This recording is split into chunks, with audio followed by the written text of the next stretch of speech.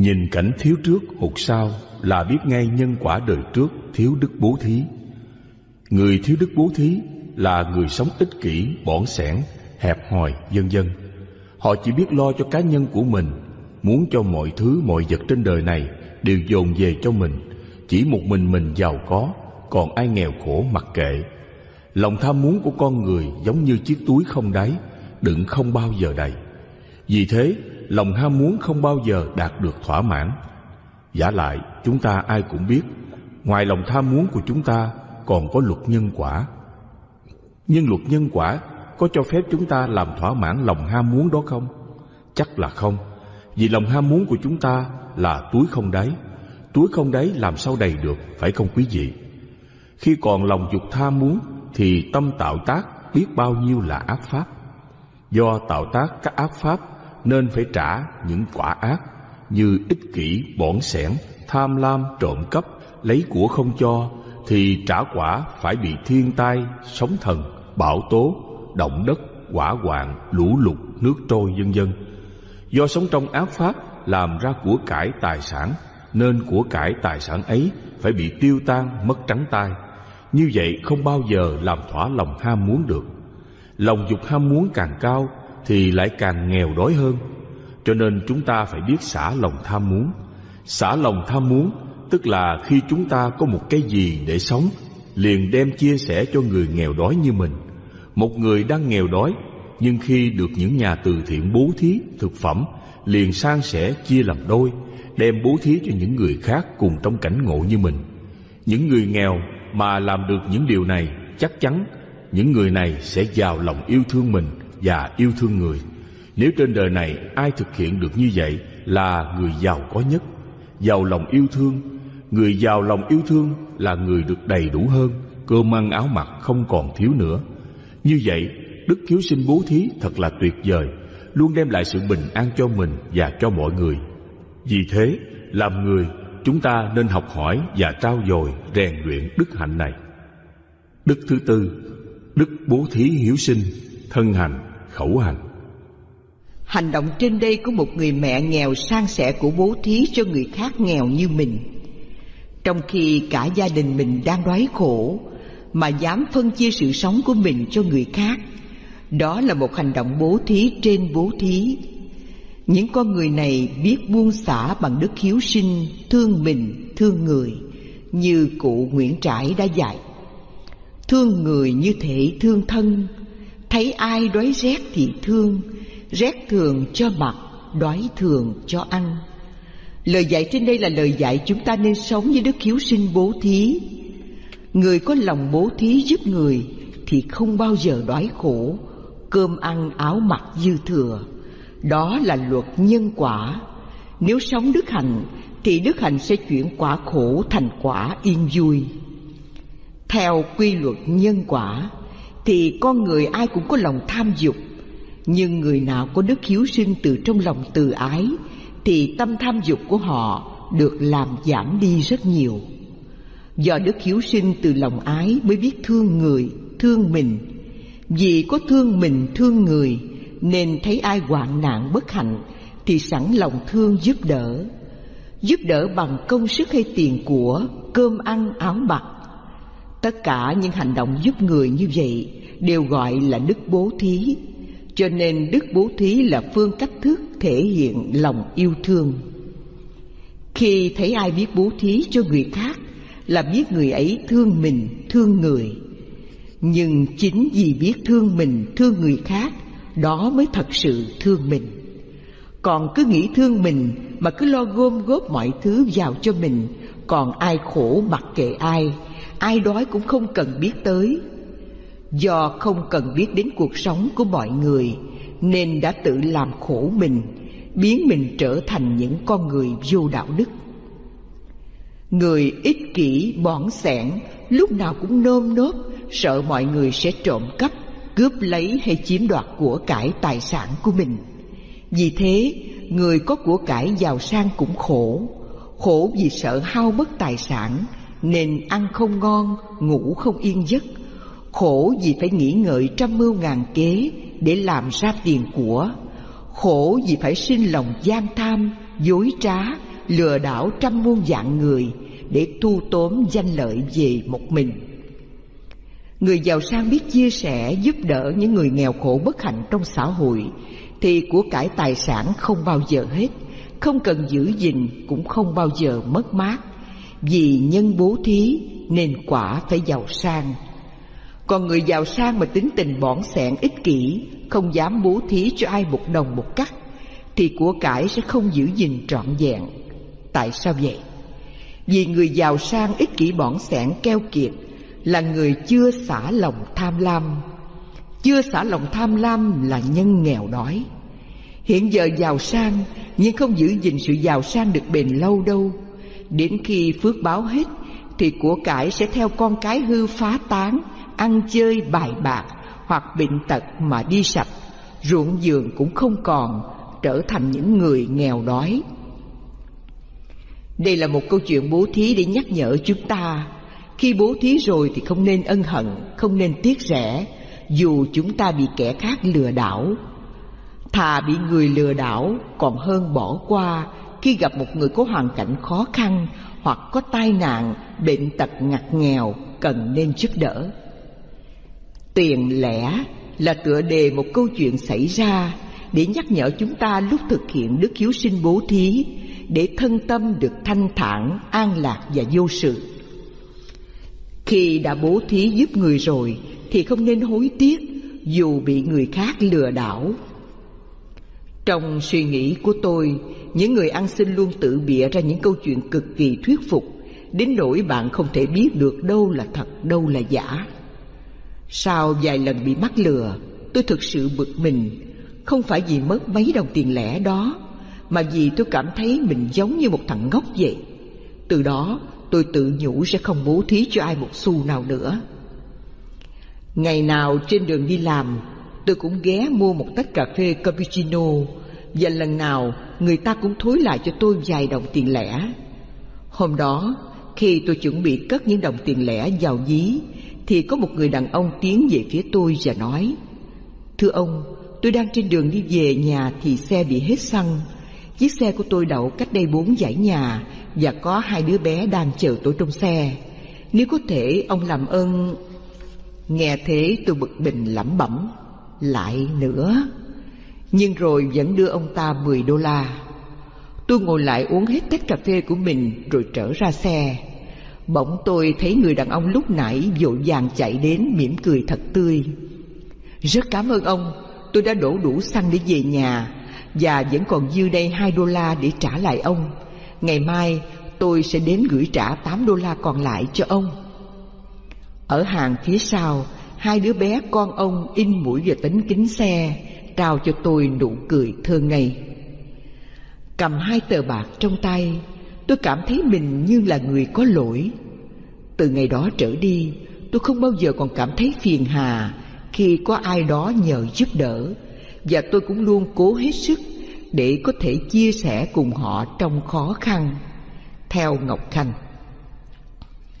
Câu chuyện trên đây cũng là một câu chuyện nói đến tâm trạng chung của những ai có lòng thương người, biết bố thí, để chúng ta an tâm khi bố thí, chia sẻ với những ai gặp hoàn cảnh khó khăn, dù chúng ta có bị kẻ khác lừa đảo lường gạt. Mặc dù chúng ta có bị lường gạt, nhưng chúng ta đừng nên nghĩ mình bị lường gạt mà nên nghĩ chúng ta đã giúp cho một người bất hạnh là đủ. Có một cậu sinh viên đến bệnh viện thăm người thân. Vừa đến bệnh viện thì có một người chạy ra xin tiền cậu. Cậu ơi, cậu hãy giúp cho tôi, cho con tôi 500 đồng để đóng tiền vào phòng cấp cứu, nếu không thì con tôi phải chết. Không do dự, cậu sinh viên móc túi đưa cho bà ta 500 đồng. Bà ta cảm ơn rối rít và chạy vào bệnh viện. Lúc bấy giờ có người nói với cậu sinh viên nọ Cậu bị gạt rồi Có đứa trẻ nào cấp cứu đâu Cậu sinh viên trả lời Như vậy cháu rất mừng là không có đứa trẻ nào chết. Mục đích của cháu là cứu giúp cho trẻ em thoát chết.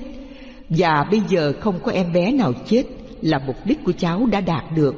Đó là nỗi vui mừng thật sự của cháu. Với tinh thần yêu thương bố thí là phải nghĩ đến sự cứu giúp người thoát khổ, chứ đừng nghĩ chúng ta bị người khác lừa gạt, mà hãy nghĩ rằng chúng ta giúp người thoát khổ là mình vui mừng. Cậu sinh viên này có một tri kiến hiếu sinh bố thí tuyệt vời, không bao giờ nghĩ rằng mình bị người khác lừa gạt, mà chỉ biết không có em bé nào chết là mãn nguyện. Với sự sống của em bé mới có giá trị lớn, còn 500 đồng của cậu sinh viên chỉ tượng trưng cho tình thương của cậu mà thôi. Lòng yêu thương bố thí cứu người thoát chết, thoát khổ là mục đích. Nên khi biết người khác đang khổ là chúng ta giúp đỡ ngay liền, chứ không chần chờ, đắn đo, suy tư hơn thiệt, sợ bị lường gạt hay không bị lường gạt. Người khác lường gạt mình là dai nợ mình, kiếp này không trả thì kiếp sau cũng phải trả. Luật nhân quả không ai trốn đâu cho khỏi. Vì thế, bất cứ thấy bất hạnh khổ đau thì nên sẵn sàng giúp đỡ với lòng thương yêu. Người gian xảo lường gạt không thể qua mắt được người có trí tuệ. Nhờ có trí tuệ và tình thương thì không ai dám lường gạt chúng ta được. Vì thế, chúng ta không sợ bị lường gạt. Nhưng khi đã bố thí xong thì chỉ biết giúp người thoát khổ chứ không nên nghĩ mình bị lường gạt. Khi làm một việc từ thiện như bố thí tiền của hay công sức của mình thì chúng ta nên tin rằng sẽ có những người được an ủi trong hoàn cảnh khổ, sẽ có những người thoát chết, thoát nạn, vân vân. Đó là mục đích của việc làm từ thiện bố thí do Đức Hiếu Sinh. Đức Hiếu Sinh bố thí mới thực sự là làm việc từ thiện, còn ngoài ra làm việc từ thiện coi chừng mình sẽ lợi dụng danh từ từ thiện để làm một việc khác, một việc làm danh và lợi. Cho nên quý vị phải nhớ, làm việc từ thiện phải xuất phát từ đức hiếu sinh. Đức thứ năm, đức hiếu sinh bố thí, cao thượng thân hành, khẩu hành. Đức hiếu sinh bố thí cao thượng là một hành động bố thí thân mạng mình để cứu người trong cơn hoạn nạn, dân dân. Trong cảnh nghèo đói, nhưng lại biết san sẻ từng sự sống của mình cho người khác, thì đó là đức hiếu sinh bố thí cao thượng.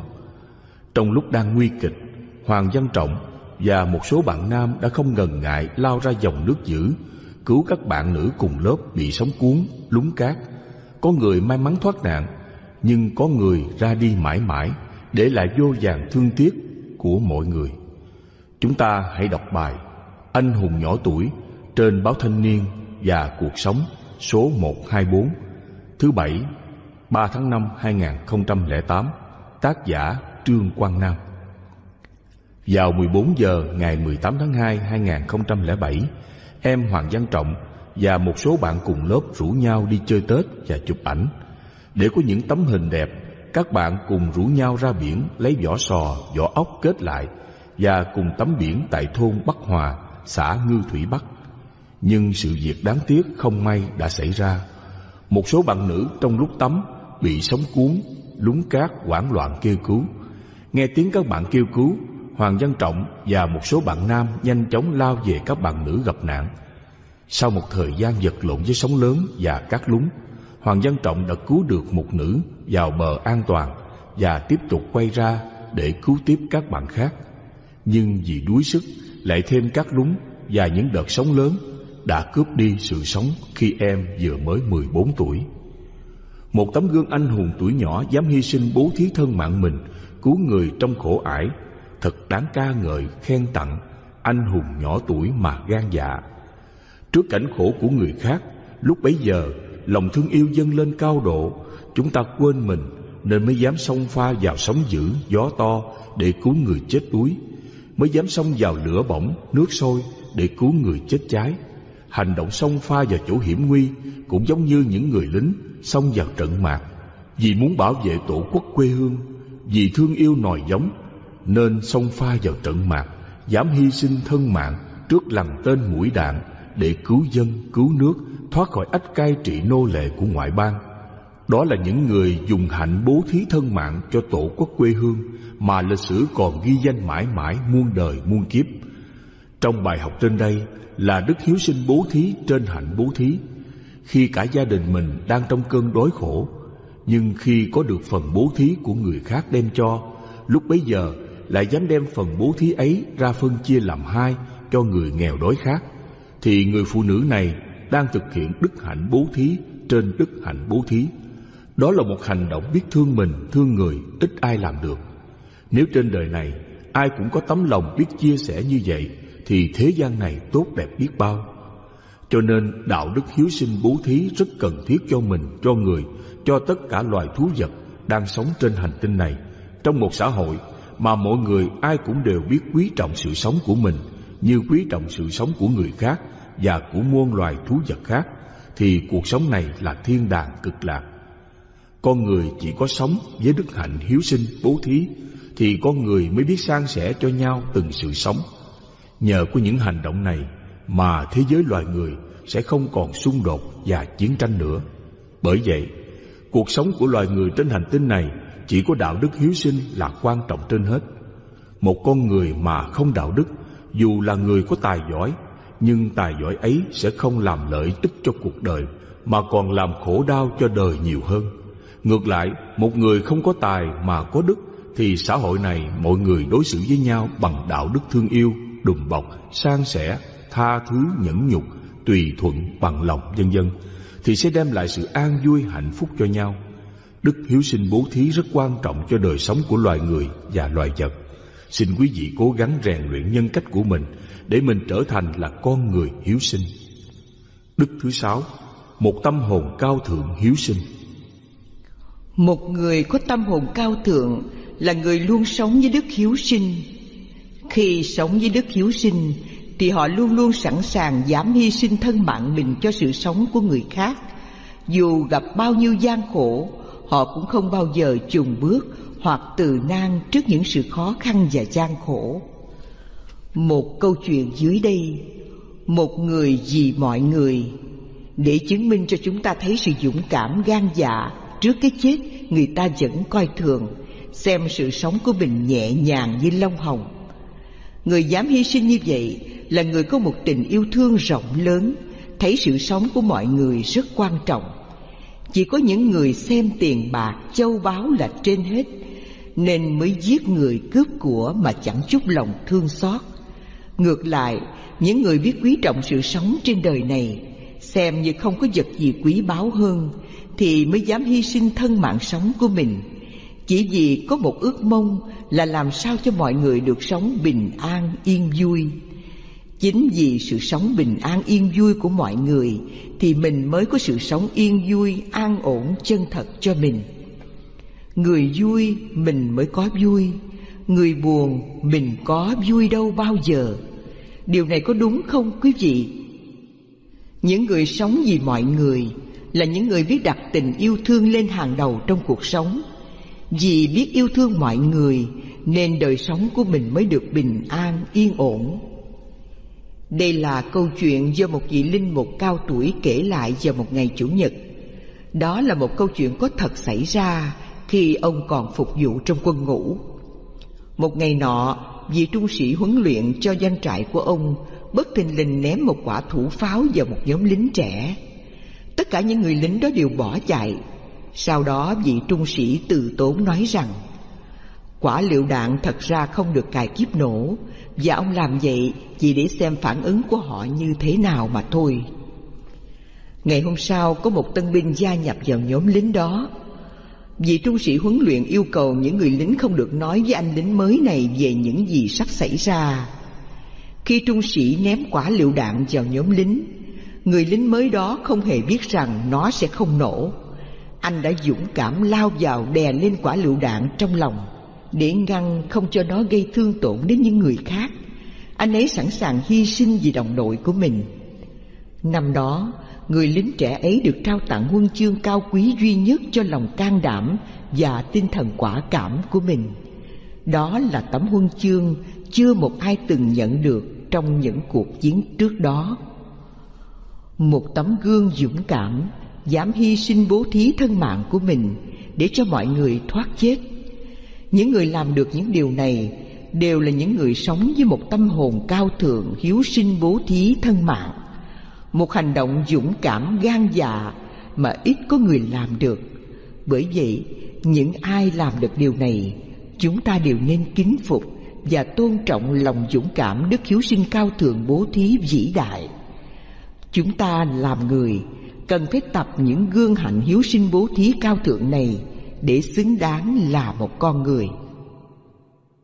Đức thứ bảy, một bài học đức hiếu sinh tuyệt vời. Nói về đạo đức trong cuộc đời này thì không có đạo đức nào hơn đức hiếu sinh. Bởi vậy, con người chỉ cần đào tạo đạo đức hiếu sinh cho họ thì xã hội này không còn xung đột và chiến tranh nữa như trên đã nói. Bởi con người sinh ra từ tình thương, được nuôi dưỡng lớn lên trong tình thương và muốn có một cuộc sống được an vui, không làm khổ mình khổ người thì phải duy trì sự sống bằng tình thương. Chính tình thương mới đem lại hạnh phúc an vui cho con người. Cho nên mỗi hành động trong cuộc sống hàng ngày phải thực hiện bằng tình thương. Nếu ai đi ngược lại là người ấy đã tạo sự khổ đau cho mình, cho người ngay liền. Hành động tình thương nhiều khi người ta thường sống với nó nhưng không mấy khi lưu ý. Thường người ta lưu ý khi người ta nói tôi thương. Nhưng sự thật lời nói tôi thương chưa hẳn là tôi thương. Vì lời nói tôi thương nhưng liền đó lại có thể hai người cãi cọ, chửi mắng nhau như trâu trắng trâu đen. Cho nên trên đời này chỉ có tình thương bằng hành động mới chân thật. Tuy không nói ra lời thương yêu, nhưng tình thương yêu rất thấm thía như câu chuyện sợi tóc trong hộp cơm. Trong những năm tháng gian khổ đó, rất nhiều học sinh ngay đến khả năng mang những món cơm hộp giản tiện nhất trong chẳng ra hồn để đến trường cũng không có. Bạn học ngồi cạnh tôi chính là như vậy. Thức ăn của cậu ta mãi mãi là đậu xị đen xì, còn cơm hộp của tôi thì thường mang dăm bông và trứng ốp lết. Sự khác biệt của hai người quả là một trời một vực. Hơn nữa, bạn học này mỗi lần ăn đều nhặt các sợi tóc ở trong cơm hộp trước rồi mới ăn như không có gì xảy ra. Tôi thấy việc làm này vẫn kéo dài mãi, ngày này sang ngày khác không có gì thay đổi. Có thể nói mẹ cậu ta rất luộm thuộm cho nên trong cơm hằng mang đi đều có tóc. Các bạn học sinh đều bàn tán dụng trộm. Có một hôm nhà trường nghỉ học, bạn học sinh đó mời tôi. Nếu bạn không bận việc gì, xin mời đến nhà mình chơi. Tuy trong lòng không muốn lắm, song từ ngày vào học cùng lớp, đây là lần đầu cậu ta mời tôi tới nhà chơi, cho nên tôi không nỡ từ chối. Theo bạn đến thôn nghèo, nơi địa hình dốc núi dựng đứng ở vùng núi ngoại thành. Mẹ, con đưa bạn đến chơi đây nè. Sau khi nghe thấy tiếng nói phấn khởi của bạn tôi, cửa buồn mở ra. Bà mẹ già cả của cậu ta đã xuất hiện ở cửa. Anh bạn của con tôi đến rồi à, để tôi xem nào. Nhưng mẹ bạn tôi ra khỏi cửa buồn, cứ dùng tay sờ sờ chiếc cột bức tường ở ngoài cửa. Hóa ra bà ta là một người bị mù cả hai mắt. Tôi cảm thấy xúc động, mắt cay cay, không nói được lời nào. Thức ăn trong suất cơm hộp của bạn tôi Tuy mỗi ngày thường chỉ là đậu xị Xong là do người mẹ mắt mù không nhìn thấy Cẩn thận giúp cậu sửa sang cơm hộp Đó không chỉ là suất cơm trưa Mà đó còn là tấm lòng đầy thương yêu của người mẹ. Thậm chí việc lẫn sợi tóc vào trong đó cũng không sao. Nó vẫn là tình yêu của người mẹ. Tình thương yêu không lời không ranh giới Nó thực hiện bằng đức hiếu sinh. Cho nên người biết sống với đức hiếu sinh Là người biết thương mình, thương người Và thương tất cả những loài chúng sinh khác. Bởi đức hiếu sinh rất tuyệt vời Luôn luôn đem lại sự bình an, yên vui cho mọi người. Đức hiếu sinh rất tuyệt vời mà trong tất cả mọi người, Ai ai cũng đều có Chỉ vì mọi người chưa có dịp thực hiện đức hạnh đó mà thôi Dưới đây là một câu chuyện có thật, bằng tình yêu thương hiến máu của mọi người, giúp cháu Lê Hầu Minh Quân thoát bệnh hiểm nghèo. Trái tim con tôi đã đập lại từ máu bạn đọc gần xa. Báo pháp luật thành phố Hồ Chí Minh ra ngày 27 tháng 4 có bài Thông điệp xanh từ blog. Thông tin về bệnh trạng của bé Lê Hậu Minh Quân, con của anh Lê Minh Nghĩa, phóng viên báo giao thông vận tải, mắc bệnh tim bẩm sinh, cần phẫu thuật gấp Bé Quân thuộc nhóm máu AB, một nhóm máu hiếm, cần bốn người có cùng nhóm máu tương thích để tiếp máu cho cháu trong quá trình phẫu thuật. Anh Nghĩa tải thông tin lên mạng qua blog của một người bạn.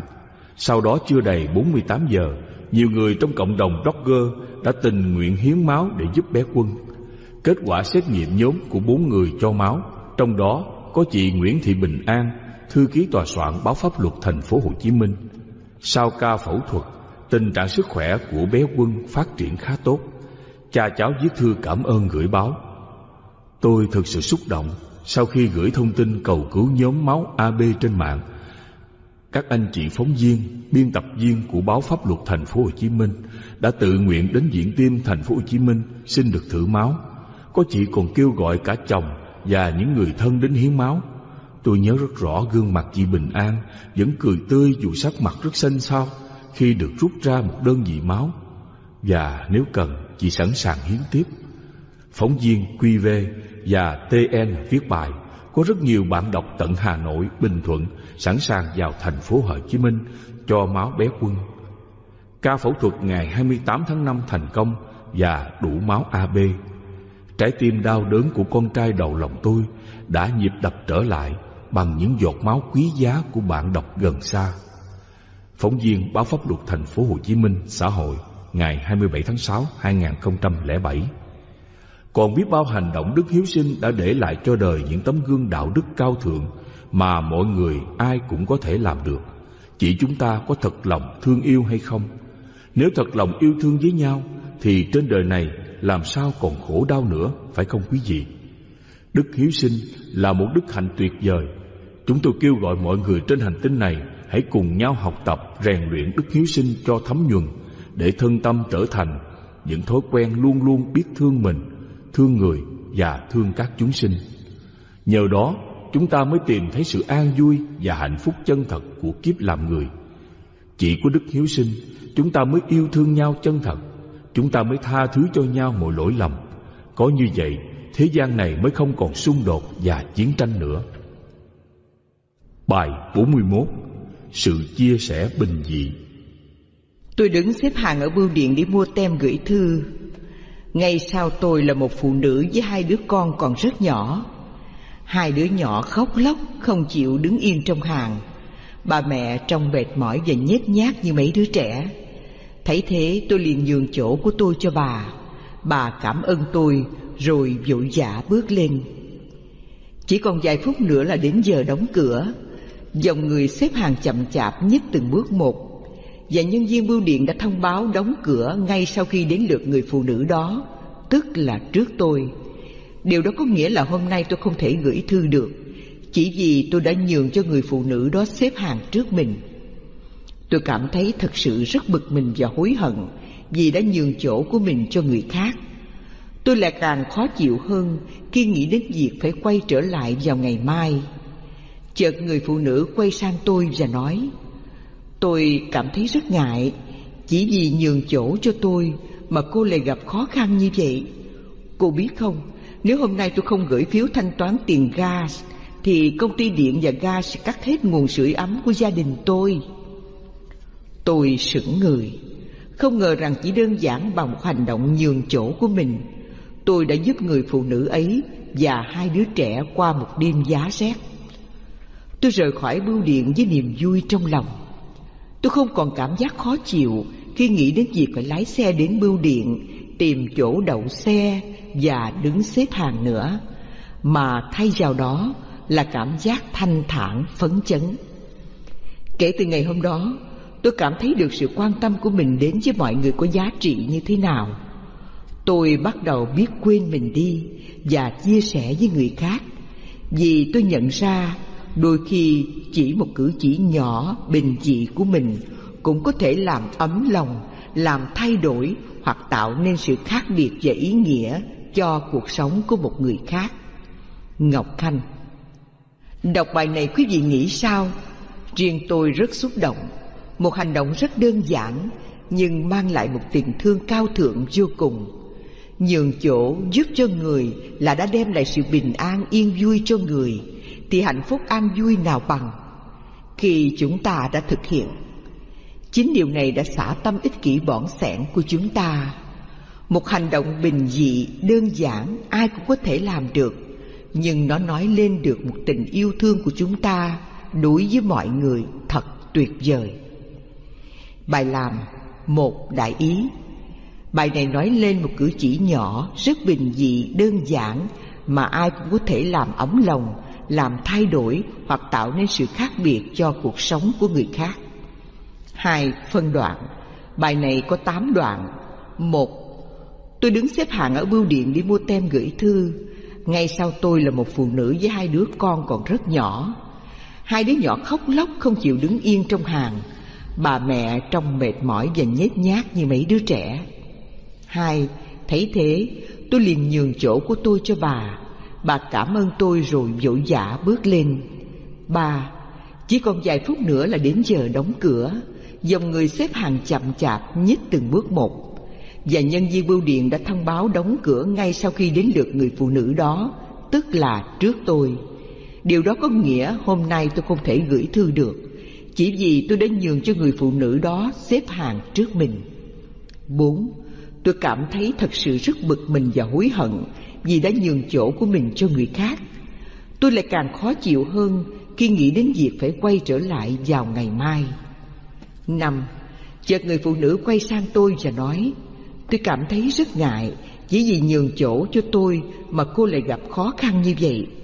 Cô biết không, nếu hôm nay tôi không gửi phiếu thanh toán tiền gas Thì công ty điện và ga sẽ cắt hết nguồn sưởi ấm của gia đình tôi Sáu, tôi sững người Không ngờ rằng chỉ đơn giản bằng một hành động nhường chỗ của mình Tôi đã giúp cho người phụ nữ ấy và hai đứa trẻ qua một đêm giá rét. Bảy, tôi rời khỏi bưu điện với niềm vui trong lòng. Tôi không còn cảm giác khó chịu khi nghĩ đến việc phải lái xe đến bưu điện, tìm chỗ đậu xe và đứng xếp hàng nữa, mà thay vào đó là cảm giác thanh thản, phấn chấn. Tám, kể từ ngày hôm đó, tôi cảm thấy được sự quan tâm của mình đến với mọi người có giá trị như thế nào tôi bắt đầu biết quên mình đi và chia sẻ với người khác vì tôi nhận ra đôi khi chỉ một cử chỉ nhỏ bình dị của mình cũng có thể làm ấm lòng làm thay đổi hoặc tạo nên sự khác biệt và ý nghĩa cho cuộc sống của một người khác. Ba, đáp án. Bài này có tám đức. Một, luật nhân quả nghiệp báo thân hành ý hành. Hai, đức hiếu sinh nhường chỗ thân hành. Ba, Đức hiếu sinh duyên nghiệp báo nhân quả thân hành. Bốn, Thiếu đức hiếu sinh nhường chỗ ý hành. Năm, Đức tri ân hiếu sinh khẩu hành sáu, Đức hiếu sinh nhường chỗ thân hành có giá trị không phải nhỏ. Bảy, Đức hoan hỷ nhường chỗ hiếu sinh ý hành. Tám, Đức quên mình quan tâm đến người hiếu sinh ý hành. Bốn, Hướng dẫn giải trình án. Hướng dẫn giải trình án là chỉ dẫn làm những bài luận văn về đạo đức hiếu sinh, mà đầu đề là tám đoạn trong bài học đã được phân chia rành rọt. Các tu sinh phải tự làm lấy cho đầy đủ nghĩa lý thâm sâu của đạo đức hiếu sinh cá nhân, gia đình và xã hội. Nếu làm chưa đủ ý nghĩa trên đã hướng dẫn thì bài luận văn chưa hoàn chỉnh. Phải ghi nhớ những lời hướng dẫn trên đây để cố gắng triển khai tri kiến giải thoát vì cuộc đời tu hành theo Phật giáo duy nhất chỉ có tri kiến hiểu biết giới luật đức hạnh Thì tâm mới ly dục, ly ác pháp còn không có tri kiến giải thoát Thì tâm không bao giờ giải thoát. Vì thế, tu hành chỉ còn ức chế tâm mà thôi. Năm, Giải trình án. Đức thứ nhất, Luật nhân quả nghiệp báo thân hành ý hành. Như chúng tôi đã nói, luật nhân quả rất công bằng và công lý. Ai làm ác, tức là làm khổ mình, khổ người và khổ các loài vật, thì phải trả quả khổ đau còn ngược lại ai làm điều lành thì sẽ hưởng được phước báo hoàn cảnh bản thân gia đình đều được yên vui và hạnh phúc. Hai đứa con nhỏ khóc lóc không chịu đứng vào hàng để chờ mua bưu phiếu. Chúng làm cho bà mẹ rất khổ sở giữa đám đông người. Đấy là nhân quả. Người đời thường bảo con nợ, vợ quan gia, cửa nhà tội báo. Đúng vậy, nhân quả có dây phải có trả, nếu không dây làm sao lại có con mà trả quả? Con cái không phải là nhân quả sao? Trên thế gian này, trai lớn lên lấy vợ, gái lớn lên gả chồng, đó là một truyền thống từ ngàn xưa. Người ta cứ ngỡ rằng trai gái lớn lên yêu nhau là hạnh phúc. Hạnh phúc mà con người hằng mơ ước đó là hạnh phúc trong tưởng. Còn hạnh phúc chân thật không phải tìm từ trai gái yêu nhau trai gái yêu nhau là quy luật nhân quả sinh tồn dạng vật sinh ra đều theo quy luật này cả từ cây cỏ thảo mộc cho đến loài người và loài thú vật đều phải theo quy luật này cả. Không có một loài vật nào ra khỏi quy luật này. Vì thế, con người ít ai thoát ra khỏi quy luật này. Ngoại trừ những bậc chân tu giải thoát, người ta mới cắt ái, ly gia, đoạn tuyệt con đường tâm sắc dục. Chúng ta hãy đọc câu chuyện thương tâm do nhân quả kiếp trước đã gây, tạo nhân quả chia lìa cha mẹ và con cái nên kiếp này lũ đã cướp đi cha mẹ của ba cháu gái để lại một người chị còn tuổi học trò mà phải gánh vác nuôi hai em thật là xót thương vô cùng ai thấy cảnh này mà không động lòng rơi nước mắt phải không quý vị thay ba mẹ đưa em đến trường sáng ngày năm tháng chín ở thôn Lâm Lan, xã Châu Hóa, huyện Tuyên Hóa, tỉnh Quảng Bình. Ba chị em Ngô Thị Nhung, Ngô Thị Huyền và Ngô Thị Ngọc Trinh dắt nhau tới trường dự khai giảng năm học mới.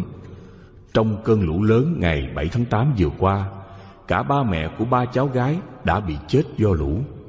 Chị cả Ngô Thị Nhung bây giờ trở thành ba, thành mẹ chăm lo cho hai em. Hôm qua Trinh cứ khóc mãi, hắn đòi đưa đi học chứ không chịu đi một mình rồi còn cả Huyền nữa.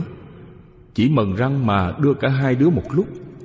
Nhung nói trong nước mắt, khi ba mẹ còn, Ngài khai trường, Nhung chỉ lo cho riêng mình.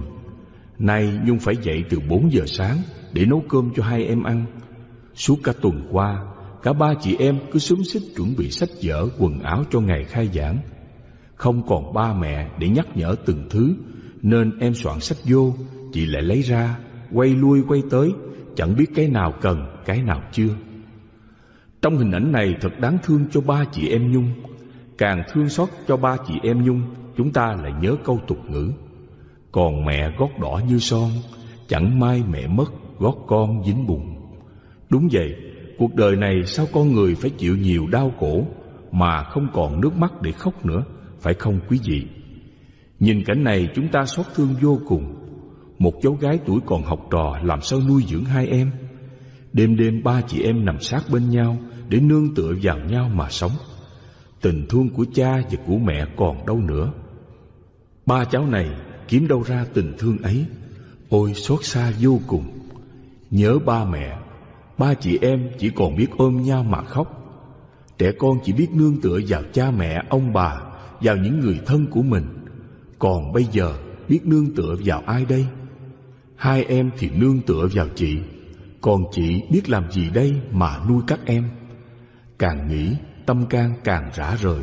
Càng suy nghĩ tâm can càng thấy khổ đau vô cùng vô tận Nhìn hình ảnh ba cháu trơ trọi Chúng ta không thể cầm những giọt nước mắt Thương cho thân phận các cháu ngày mai Sống sẽ ra sao Cháu gái tuổi còn học trò Biết làm gì nuôi hai em Cuộc đời đầy dẫy cạm bẫy Ác pháp muôn mặt rồi đây các cháu có thoát khỏi nanh vuốt của loài trồn cáo ác độc chăng?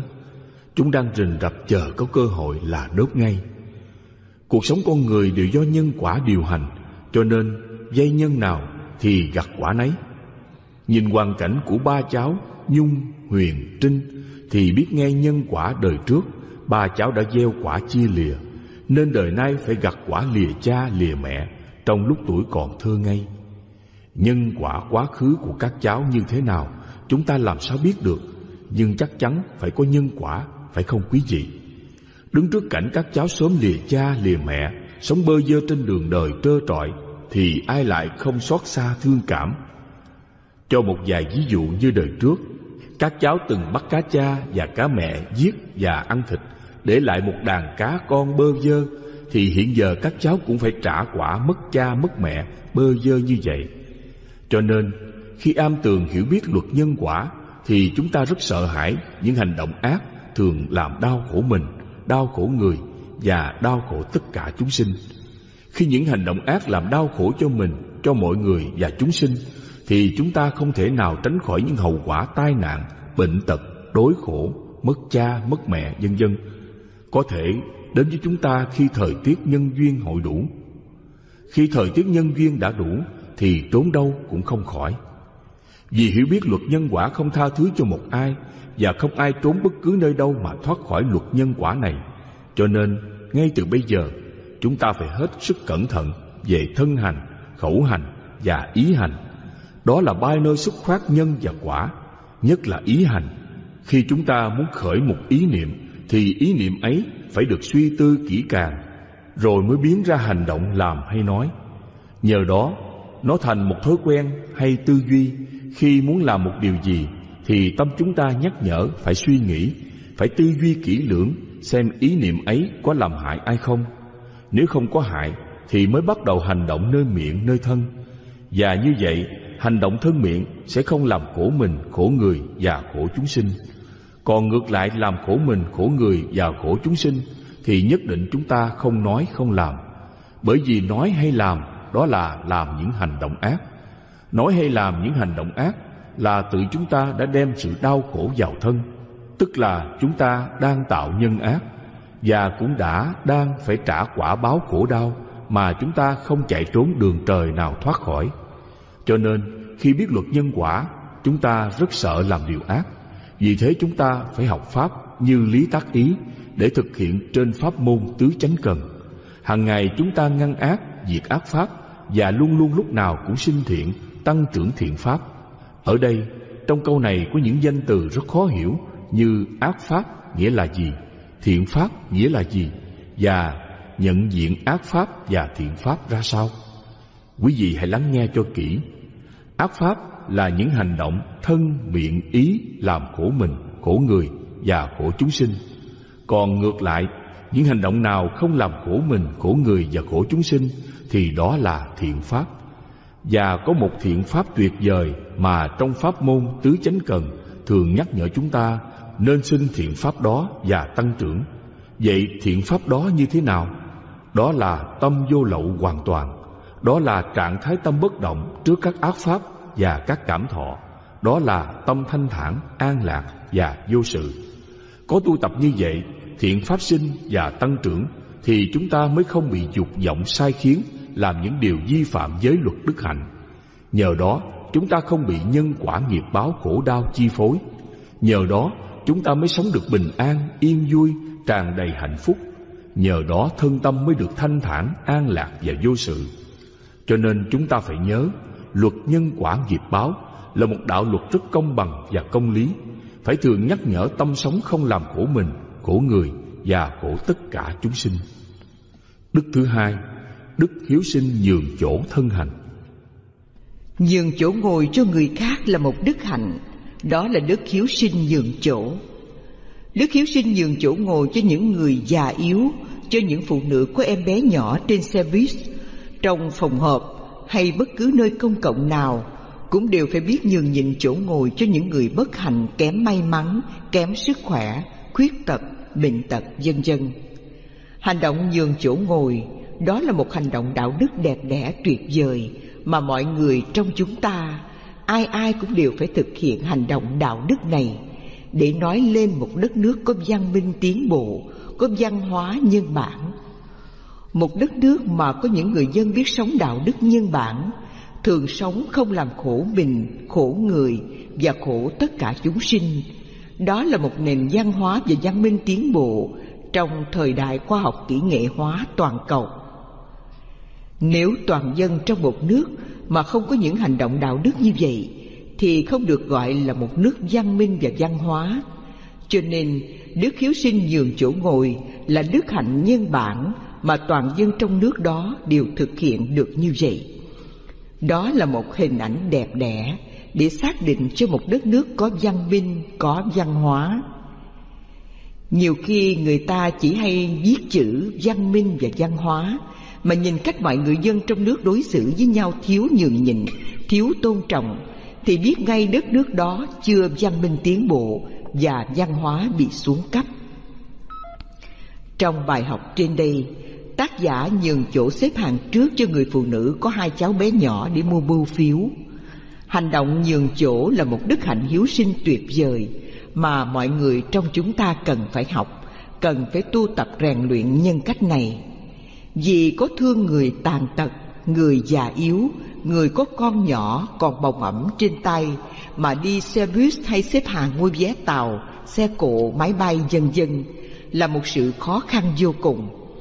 Khi xe dừng hoặc xe chạy đều bị nghiêng qua ngã lại thật là tội nghiệp, phải không quý vị? Đây là một câu chuyện trên chuyến xe buýt mà tác giả đã thuật lại để làm một bài học về đạo đức hiếu sinh, biết nhường chỗ cho mọi người với tựa đề Tôi đi xe buýt. Hàng ngày tôi mất khoảng 35 phút đi xe buýt đến công sở và cũng chừng ấy thời gian để ngồi xe buýt đi về. Khi phải đi xe buýt nhiều như tôi, bạn mới nhận ra sự khác biệt giữa việc tìm được một chỗ ngồi trên xe và việc phải đứng suốt chuyến đi. Có một chỗ ngồi có nghĩa là bạn có thể tranh thủ nhắm mắt một chút hoặc đọc báo hay ít nhất là có thể ngã lưng trong giây lát. Ngược lại, nếu phải đứng suốt chuyến thì không đơn giản chân bạn sẽ mỏi nhừ mà bạn còn liên tục bị xô qua bên này, đẩy qua bên kia. Bạn phải gồng mình để không té nhào vào người khác và phải liên tục di chuyển mỗi khi có ai lên hoặc xuống xe. Chính những điều bất tiện đó khiến tôi bằng mọi cách phải tìm được một chỗ ngồi tử tế trên suốt tuyến đường. Nhiều lần đi lại, tôi đã có được kinh nghiệm rằng nếu tôi chịu khó đón xe sớm hơn một chút thì chắc chắn là tôi luôn có chỗ ngồi. Có một người phụ nữ lớn tuổi, hình như lúc nào cũng đi cùng một tuyến đường với tôi. Lúc trước, khi tôi lên xe buýt sau bà, thì tôi luôn luôn phải đứng trong khi bà có chỗ ngồi đàng hoàng. Từ khi tôi đón xe sớm hơn, tôi luôn có mặt trên xe buýt trước bà và dĩ nhiên là ngồi chễm chệ trong khi bà phải đứng. Ban đầu tôi cảm thấy hơi say rứt, cảm thấy như mình đang giành chỗ ngồi của bà vậy. Nhưng lâu dần tôi mặc kệ cái cảm giác đó và cứ ngồi yên cái chỗ mình giành được. Hôm đó trên đường về nhà, khi vừa bước lên xe buýt, đột nhiên tôi cảm thấy buồn nôn khủng khiếp. Tôi cố gắng gượng lại, gồng mình để chịu đựng vì sợ rằng mình sẽ nôn ra đầy xe mất.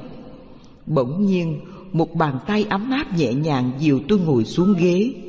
Tôi ngạc nhiên khi nhận ra rằng đó chính là người phụ nữ tôi vẫn gặp mỗi sáng đi làm, là người mà tôi đã giành lấy chiếc ghế bằng cách đi làm sớm hơn. Bà dìu tôi ngồi vào ghế của bà và dịu dàng đứng bên cạnh, che cho tôi khỏi bị da quệt bởi những người lên xuống xe. Đến trạm dừng, tôi bối rối cảm ơn bà và đi về nhà. Từ ngày đó trở đi, sáng nào tôi cũng mong được gặp bà để có thể nhường ghế của mình cho bà.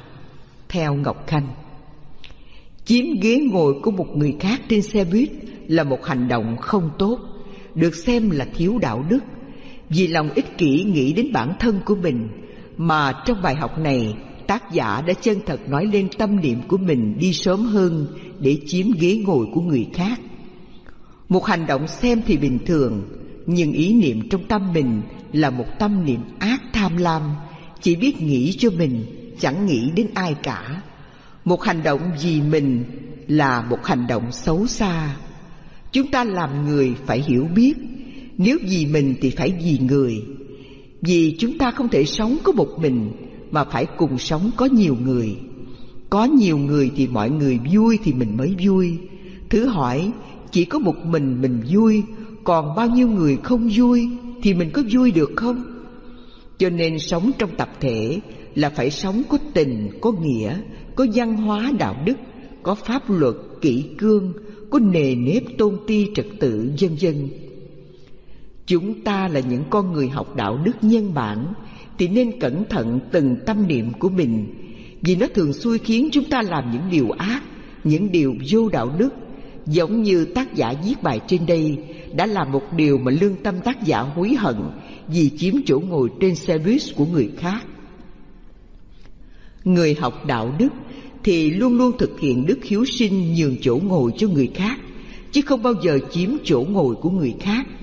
Bởi mọi hành động đạo đức hiếu sinh thì nhường chỗ ngồi cho người khác cũng là một hành động đạo đức nhân bản rất đáng khen và tán dương hành động đẹp đẽ đó vì nó đem lại sự yên vui cho mình, cho người. Và như vậy, chúng ta mới thấy tâm mình hân hoan, một niềm vui lân lân thanh thoát nhẹ nhàng khi biết mình đã làm một điều lợi ích cho người yếu đuối già cả, cho người phụ nữ có em bé nhỏ. Ngược lại, chúng ta chiếm chỗ ngồi của người khác là làm cho người ta mất chỗ ngồi, khiến họ phải khổ sở nhọc nhằn, trong khi chúng ta ngồi an ổn trên xe buýt sự an ổn như vậy không hạnh phúc và an vui đâu quý vị ạ. Đức thứ ba, đức hiếu sinh nhân quả nghiệp báo thân hành. Thương người đem lại sự bình an cho người là đạo đức hiếu sinh mà mọi người cần phải học tập, nhất là muốn sống được với đức hiếu sinh thì thường nhắc nhở tâm mình không nên làm khổ mình, khổ người và khổ tất cả chúng sinh. Chính nhờ sống có đạo đức được như vậy, đó là chúng ta sống với đức hiếu sinh nhân quả nghiệp báo thiện. Người sống với đức hiếu sinh nhân quả nghiệp báo thiện thì cuộc sống thường được bình an, yên vui, không tai nạn, không bệnh tật, trí tuệ thông minh, vân vân. Thời đại chúng ta là một thời đại văn minh tiến bộ về mặt khoa học kỹ thuật. Nhờ đó, công kỹ nghệ sản xuất ra nhiều vật chất phục vụ đời sống con người rất đầy đủ tiện nghi. Nhưng được mặt này mất mặt kia, nên đời sống con người về mặt văn hóa đạo đức đang xuống cấp trầm trọng. Trong khi xã hội đạo đức đang xuống cấp, thì lại xuất hiện những thần đồng văn hóa đạo đức để quân bình vật chất và đạo đức loài người. Chúng ta hãy đọc những câu chuyện thần đồng đã xảy ra khắp nơi trên thế giới. Đó là những bài học văn hóa đạo đức từ những trẻ em khiến cho người lớn chúng ta phải thấy xấu hổ và giật mình. Đây là những bài học đạo đức từ các em thần đồng, bài học từ trẻ con. Chẳng biết đùa hay thật, nhà thơ Trần Đăng Khoa kể có lần anh bị một cậu bé ở Hải Dương dán cho một lưỡi tầm xét. Khi nghe giới thiệu người đàn ông trung niên đứng trước mặt là thần đồng thơ Việt dạo nào, cậu bé ấy nói luôn, ai chứ bác Khoa là con biết, bác chuyên làm thơ con cốc, bác có bài thơ y hệt bài con cốc, đó là bài con bướm vàng. Kia là con cốc từ xa đến, nó ngồi đấy rồi nhảy đi. Đây là con bướm vàng, nó cũng từ xa đến rồi bay đi. Nghĩa chẳng có gì khác nhau cả, chỉ khác là bác cho con cốc đôi cánh của con bướm và bác cứ tưởng nó là con bướm, thật tình nó chỉ là con cốc thôi. Nhà thơ Trần Đăng Khoa rút ra bài học. Lúc 8 tuổi như nó, tôi chỉ làm được những câu thơ ngớ ngẩn, chứ đâu đã có được những ý kiến riêng, đặc biệt là ý kiến khác mọi người. Tôi cũng có cảm giác giống như Trần Đăng Khoa khi đọc thơ Marty, một thần đồng nước Mỹ. Marty mắc bệnh hiểm nghèo. Tác phẩm của cậu bé không chỉ chứng minh một nghị lực sống phi thường mà còn khẳng định một tài năng độc đáo. Mở đầu tập Khúc hát trái tim, Marty viết Cuốn sách này dành tặng những ai tin rằng cần phải biết ơn mỗi ngày qua như một món quà của cuộc sống. Cuộc đời Marty thật ngắn ngủi, đã từ giả nhân gian lúc chưa đầy 14 tuổi, nhưng cậu bé nghĩ về mẹ. Những khi tôi đau hoặc buồn, thì mẹ cũng rất buồn hoặc rất đau. Và nhận ra sự cao thượng từ một chú chó nhỏ. Hãy luôn tha thứ cho sự lãng quên, nhưng đừng bao giờ quên tha thứ. Có thể thần đồng thơ Việt Trần Đăng Khoa hay thần đồng thơ Mỹ Mark Thi là vài trường hợp hy hữu, nhưng không thể che lấp được thực tế trẻ con đang ngày càng thông minh hơn. Mặt khác, nếu chịu khó quan sát, thì từ sự hồn nhiên và trong trẻo của trẻ con sẽ mang lại cho chúng ta nhiều cái giật mình thú vị. Đứa cháu gái của tôi sống ở Hồng Kông, nghỉ hè được về Việt Nam chơi. Tôi dắt cháu đi dạo ở trung tâm Sài Gòn và mua cho mấy cái kẹo. Khi bỏ viên kẹo vào miệng rồi, cháu cứ cầm mãi cái vỏ kẹo. Tôi dục quăng đi, cháu nhìn quanh rồi phụng phịu. Không thấy thùng rác nào gần đây đâu cậu ạ. Cứ thế, cháu nắm chặt cái vỏ kẹo trong tay cho đến khi tìm được thùng rác thì bàn tay được ướt đẫm mồ hôi. Ở nước ta, hình như các lớp mẫu giáo cũng dạy thiếu nhi giữ gìn vệ sinh công cộng, nhưng người lớn xả rác bừa bãi thì trẻ con làm sao noi gương. Về nhà tôi khen đứa cháu gái 6 tuổi ngay trước mặt đứa cháu trai 7 tuổi. Bé là thần tượng của cậu về ý thức bảo vệ môi trường. Không ngờ, thằng cháu không được khen nên giận, không thèm nói chuyện với tôi suốt cả buổi chiều. Sáng hôm sau, thằng cháu vừa gặp tôi đã nhe răng cười. Cháu không ghét chú nữa. Tôi hỏi tại sao, không ganh tị nữa à? Thằng cháu lắc đầu, ghét chú làm đêm qua cháu khó ngủ quá. Ghét người ta thì mình cũng mệt lắm, từ nay cháu không ghét ai nữa. Thú thật, tôi không thể ngờ lại nhận được hai bài học thấm thía nơi hai đứa cháu nhỏ dại. Tuổi tác ngày một nhiều, tôi càng thấy trẻ con là một thế giới vô cùng đáng trân trọng. Chúng ta thường tự hào đã làm điều này điều nọ cho thiếu nhi, nhưng ít chịu thừa nhận rằng trẻ con cũng giúp người lớn sống tốt đẹp thêm. Trẻ con không mưu cầu gì, trẻ con không nhân danh ai, nên những lời trẻ con thật chân thành. Tôi tự nhủ, hãy học tập cái nhìn xanh tươi của trẻ con để mỗi ngày luôn mới mẻ và lương thiện. Người lớn dạy dỗ trẻ con luôn luôn trưởng thành, mà có khi người lớn cũng học được những bài học của trẻ con. Lê Thiếu Nhân, báo tuổi trẻ Những câu chuyện thần đồng trên đây là những bài học đạo đức từ trẻ em đã khéo nhắc nhở mọi người lớn hãy rèn luyện nhân cách đạo đức của mình. Trẻ em còn biết đạo đức, còn chúng ta là người lớn thì làm sao đây? Không lẽ chúng ta là anh, chị, là cô, dì, chú, bác, là ông, bà, cha, mẹ của các cháu mà sống không bằng đạo đức của các cháu sao? Các cháu biết giữ gìn vệ sinh từ cái vỏ kẹo mà phải kiếm thùng rác để bỏ vỏ kẹo vào, không chịu ném bỏ bậy bạ. Trong lúc chúng ta là cô, bác, dì, cậu mợ, anh chị của các cháu mà quăng ném rác bừa bãi, đi đâu tôi cũng thấy bao bì bằng ni lông ném bỏ khắp nơi, thậm chí ngay cả dưới chân bảng đề chữ ấp văn hóa mà rác rến bao ni lông đầy dãy dưới chân. Hành động cháu bé tìm thùng rác bỏ vỏ kẹo vào là một bài học vệ sinh môi trường có một giá trị đối với toàn dân trong một đất nước độc lập. Cho nên chúng ta là anh chị cô bác của các cháu thì hãy học gương hạnh đức vệ sinh của cháu bé này mà thực hiện đời sống đạo đức vệ sinh môi trường. Rác bẩn thì nên chia ra làm hai phần, phần hữu cơ và phần vô cơ. Phần hữu cơ như vỏ trái cây, rau cải, úng hư thối thì để riêng. Và phần vô cơ như bao bì bằng bọc ni lông thì bỏ riêng ra. Vỏ trái cây và rau quả úng hư thối thì đem bỏ có nơi chốn kín đáo hoặc chôn lấp, không nên để mùi hôi thối bay bốc lên làm ô nhiễm không khí. Phần vô cơ như bao bì bằng ni lông thì đem thiêu đốt, không nên ném bỏ bậy bạ. Nhất là cô bác anh chị lại quăng ném ra ngoài đường nơi công cộng, mọi người qua lại làm bẩn thỉu môi trường vô cùng. Hiện giờ chúng ta đi bất cứ nơi đâu, khắp cùng trong đất nước từ hang cùng ngõ hẻm đến thành phố đông người đi lại tấp nập, nhưng đều thấy bao bì ni lông ném quăng bừa bãi dọc hai bên lề đường. Dù đường lớn hay đường nhỏ đều đầy dãy rác bẩn.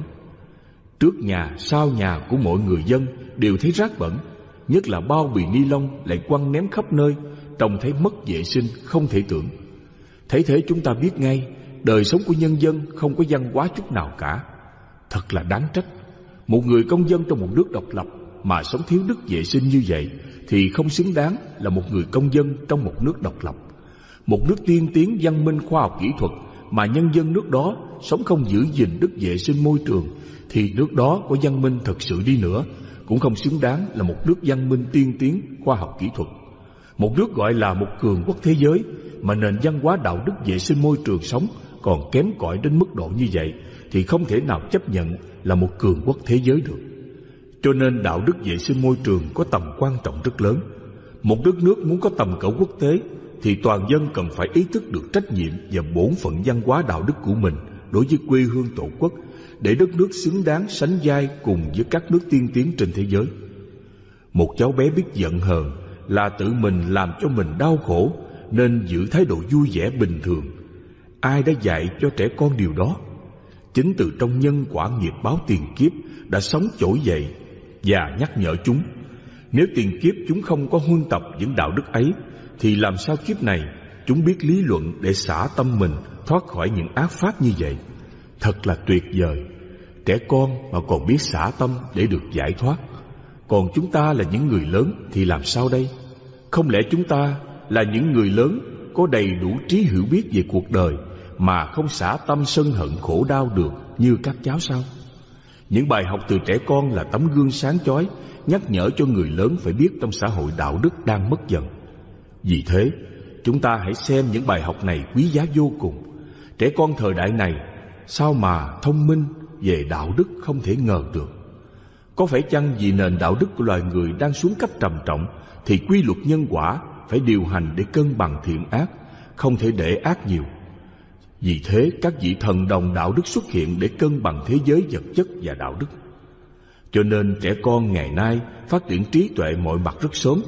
Đó là một việc tự nhiên của vũ trụ. Nhờ đó mà con người mới ra sức rèn luyện nhân cách đạo đức làm người, làm thánh để chuyển dần cuộc sống đến chỗ hoàn toàn yên vui và hạnh phúc chân thật